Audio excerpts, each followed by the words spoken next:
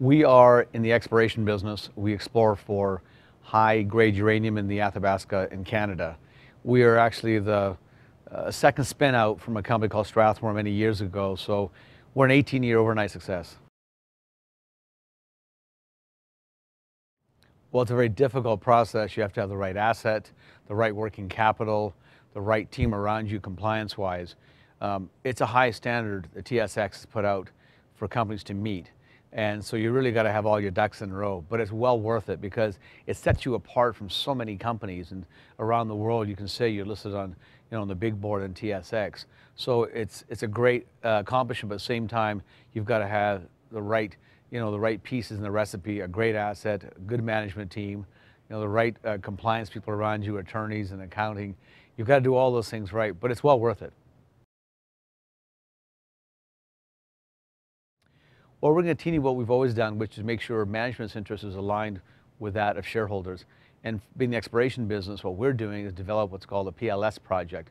It's a very high grade, open pitable uranium project in northern Canada and Saskatchewan. And for us, we've made the discovery, we've taken it so far after two years of drilling. We continue over the next two, three years to drill that. Now, along the way, we may sell or buy somebody else. Um, that's part of been our Uh, DNA from a long time. It's continued to grow aggressively and rapidly, and that takes a lot of capital, and we're very thankful to have good bankers to do that.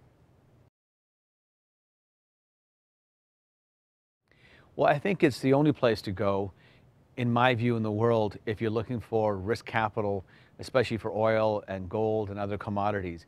Canadians know several things besides hockey, as someone would say, but also we know how to match money to good uh, exploration ideas. I think we're the best at it.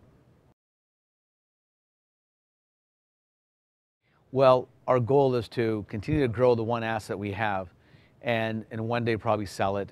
Um, that's our end game. We've been doing this since 1996. We take a group of assets, take the main asset, grow it, sell it, then move it down all the way down the food chain. So our hope is to continue to grow it and hopefully uh, monetize this for our shareholders in the next couple of years.